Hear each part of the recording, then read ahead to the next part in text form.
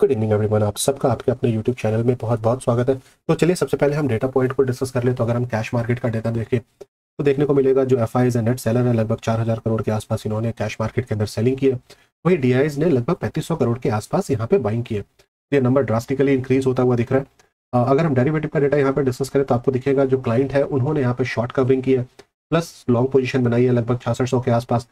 D की कोई खास एक्टिविटी नहीं है। अगर हम बात करें एफ़ की तो उनकी भी कोई खास एक्टिविटी नहीं है। बट प्रॉप डेस्क ने यहाँ पे अपने लॉन्ग के पोजीशन को क्लोज करके फ्रेश दस हज़ार के आसपास शॉर्ट कॉन्ट्रैक्ट क्रिएट किए। तो टोटल अगर हम फ्यूचर का ओआई देखें तो ये लगभग पचपन सौ के आसपास फ्रेश कॉन्ट्रैक्ट बनाई गई है। मार्केट रेड में क्लोज हुई तो एक शॉर्ट बिल्डअप की तरफ़ इशारा कर रहा है।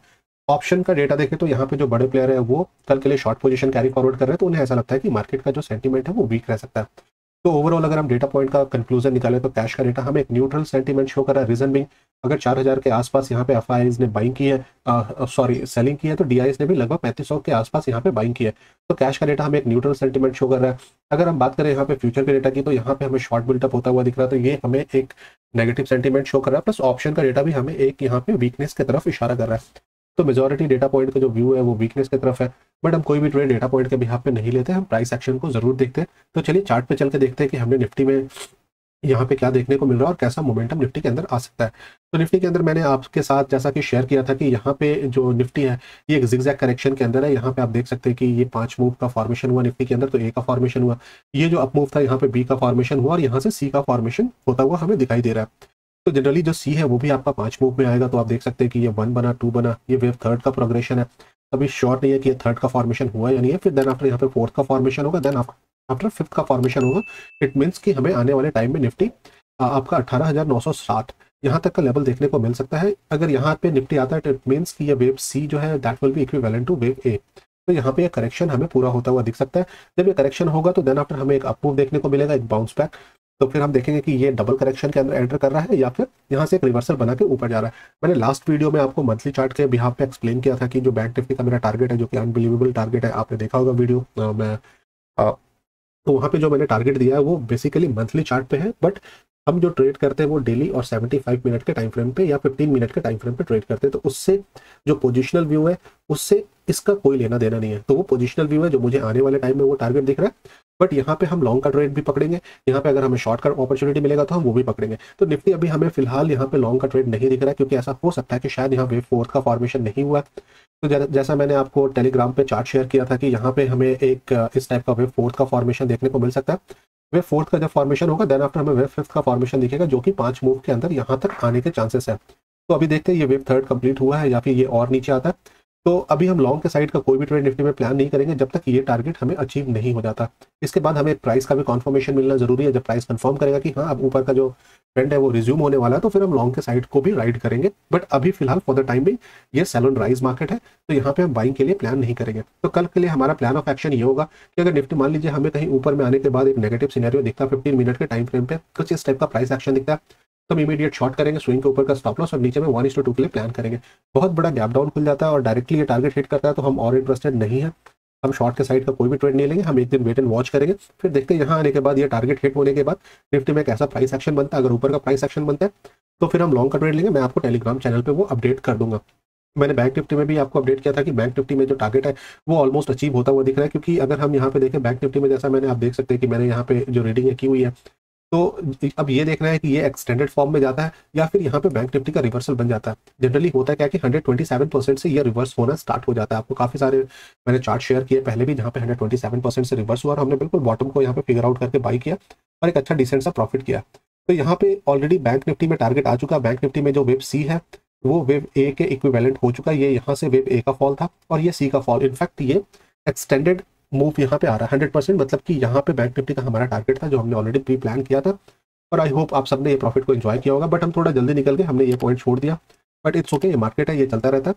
तो बैंक निफ्टी में कल देखना इंटरेस्टिंग होगा कि बैंक निफ्टी यहाँ पर रिवर्सल बनाता है या फिर ये फर्दर ब्रेक करता है। अगर मान लीजिए ये इसको ब्रेक करता है four two seven eight eight को अगर ये ब्रेक करता है तो फिर जो नेक्स्ट लेवल वो खुलेगा, वो four one eight three zero का खुल जाएगा तो मेक श्योर हम देखते हैं कल अगर ये ब्रेक करता है, यहाँ पे कोई प्राइस एक्शन दिखता है तो एक बार हम शॉर्ट का ट्रेड वापस से ले सकते हैं। यहाँ के टारगेट के लिए इसके ऊपर का स्टॉप लॉस नीचे में वन टू के लिए प्लान करेंगे।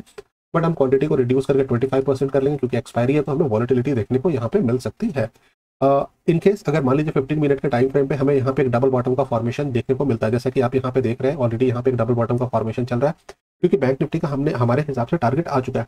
तो अगर ये डबल बॉटम का फॉर्मेशन होता है तो फिर हमें एक अच्छा स्टॉप लॉस यहाँ पे मिल जाएगा। ये स्विंग का स्टॉप लॉस रखेंगे। स्विंग के ब्रेकआउट पे अगर जो कंजर्वेटिव आप थोड़ा वेट कीजिएगा। अगर मान लीजिए कि ये ब्रेक करता है, यहाँ पे डबल बॉटम का फॉर्मेशन होता है, ये ब्रेक करने के बाद ये वापस से इसको रीटेस्ट करके फिर ये स्विंग निकालता है तो यहाँ पे आप लॉन्ग करेंगे। बट मेरा प्लान ऑफ़ एक्शन ये होगा, मैं इस ब्रेकआउट पे सर्टेन क्वांटिटी ऐड करूँगा और जब ये प्राइस एक्शन यहाँ पे बना के फिर यहाँ पे निकलता है तो मैं जो रिमेनिंग क्वांटिटी है मतलब फिफ्टी परसेंट अगर यहाँ पे क्वांटिटी ऐड करूँगा मैं तो रिमेनिंग फिफ्टी परसेंट यहाँ पे मैं ऐड करूँगा, जो स्टॉप लॉस है, मैं इस स्विंग के नीचे ट्रेल कर लूँगा कि कुछ ना कुछ प्रॉफिट हाथ में रहे। तो ये मेरा प्लान ऑफ़ एक्शन होगा बैंक निफ्टी के लिए। और यहाँ पे अगर इसको ब्रेक करता है और कुछ प्राइस एक्शन दिखता तो फिर हम शॉर्ट के लिए प्लान करेंगे बट क्वांटिटी रिड्यूस करके मैं ट्वेंटी क्वांटिटी पे शॉर्ट का ट्रेड बैंक निफ्टी के अंदर मैं प्रेफर करूँगा। स्टॉक्स देख ले तो पहला stock Bajaj finance I believe आपको ये स्टॉक याद होगा, मैंने पहले भी ये स्टॉक शेयर किया हुआ है। और मैंने बिल्कुल टॉप पे बताया था कि यहाँ पे जो है फ्लैट करेक्शन होता हुआ दिख रहा है, ये आपका ए बी सी तो ये ए का फॉर्मेशन हुआ, ये बी का फॉर्मेशन आप देख सकते हैं, ये ए बी और सी बी का फॉर्मेशन हुआ क्योंकि ये हंड्रेड इलेवन परसेंट पे हो रहा है इट मीन्स कि ये स्ट्रॉन्ग भी है। तो यहाँ से जो हमें सी का मूव मिलेगा, ये one two three four five कुछ इस टाइप का मूव हमें देखने को मिल सकता है यहाँ पे। जहाँ पे जो लेंथ ऑफ़ वेब सी होगा that will be equivalent to length of wave A तो हम यहाँ पे क्या करेंगे, यहाँ पे हम एक्सटेंशन टूल यहाँ पे डालेंगे, आप देख सकते हैं एक्सटेंशन है। तो यहाँ से लेके यहाँ का एक्सटेंशन डालेंगे।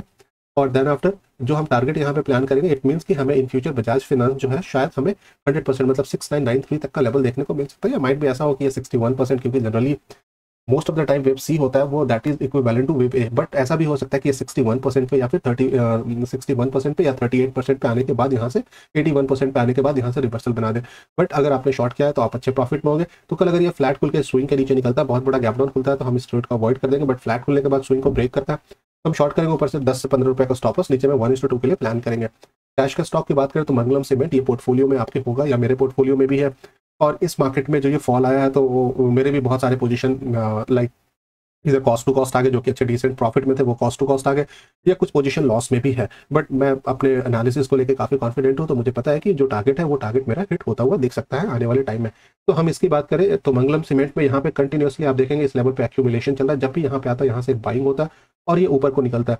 कल भी जो मार्केट का फॉल था, यहाँ पे हमें एक ब्रेकआउट देखने को मिला बट सेकंड हाफ़ में इमीडिएट ये हैमर टाइप का कैंडल बना के यहाँ पे प्राइस रिवर्स कर गया। आज भी प्राइस नीचे का है बट यहाँ से हमें बाइंग देखने को मिला। तो कल इस स्विंग के ऊपर three hundred seventy two seventy three का लेवल है। स्विंग के ऊपर निकलता है तो एक बार लॉन्ग करेंगे, तीन से चार रुपए का स्टॉप लॉस वन टू के लिए ऊपर प्लान करेंगे।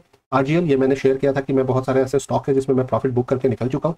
वहाँ पे मैं वापस से री एंटर करूँगा। तो अगर हम 75 मिनट का टाइम फ्रेम पे इसको देखें तो आपको देखने को मिलेगा कि यहाँ से एक अच्छा सपोर्ट है, जहाँ से ये ब्रेकआउट हमें देखने को मिला था। ये लेवल मल्टीपल टाइम टेस्ट हुआ था। देन आफ्टर ये ब्रेकआउट मिला था, इसके बाद हमें एक शार्प करेक्शन देखने को मिला। तो हमें एक पुल बैक यहाँ पे देखने को मिल सकता है। तो कल अगर मान लीजिए ये स्विंग के ऊपर निकलता है तो हम लॉन्ग करेंगे, ये स्विंग का स्टॉप लॉस और ऊपर में वन टू के लिए ट्रेड को प्लान करेंगे। तो आई होप आपको ये वीडियो पसंद आया। वीडियो पसंद आया तो वीडियो को लाइक कीजिए। चैनल को सब्सक्राइब कीजिए वीडियो को ज़्यादा से ज़्यादा शेयर कीजिए। Thanks for watching keep learning and keep earning